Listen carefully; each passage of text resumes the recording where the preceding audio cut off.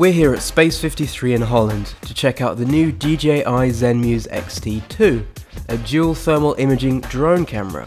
With a 4K visual camera, next to an advanced radiometric thermal imaging camera, the XT2 has been designed with public safety professionals in mind. It can be used alongside firefighters for search and rescue missions, as well as industrial safety inspections. We spoke with Eduardo from DJI to find out more. With the Zenmuse XT2 and its dual thermal visual sensor, we can see through smoke to identify people in firefighting scenarios.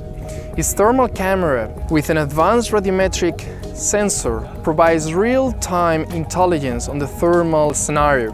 Also, firefighters can fly the M200 drone and the XT2 in adverse weather conditions like light rain, smoke, fog or even snow. The Zenmuse XT2 has been created in partnership with FLIR and comes on board with machine intelligence.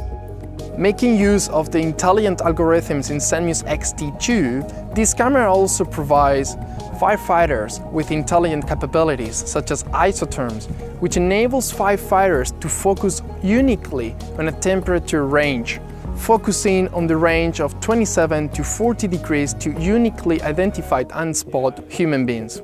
There is also other intelligence features such as heat track, which automatically centers and locks the camera on the hottest object in view. But it's not just for firefighters. The XT2 can be used in a variety of specialised fields to conduct otherwise difficult tasks. Quickly locate damaged solar panels, assess rising temperatures in infrastructures, or inspect power lines. Zenmuse XT2 has been jointly developed by DJI and public safety authorities such as firefighters and law enforcement, and it will be ready and available for the wider audience in early May. So that was a quick look at the DJI Zenmuse XT2. For more on drones and all things tech, keep it locked to Tech Radar.